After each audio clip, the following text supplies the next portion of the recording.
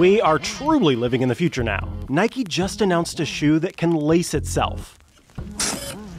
Power laces, all right. Yep, like that.